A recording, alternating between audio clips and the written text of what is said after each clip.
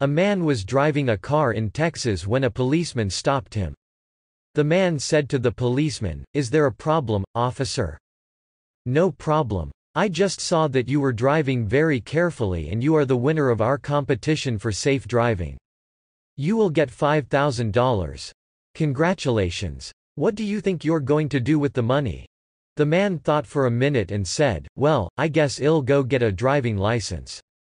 The lady who was sitting next to the man said to the policeman, Oh, don't listen to him.